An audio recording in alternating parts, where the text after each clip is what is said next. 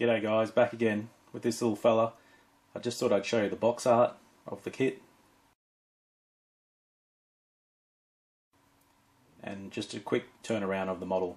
Thanks for watching guys, and I'll catch you later.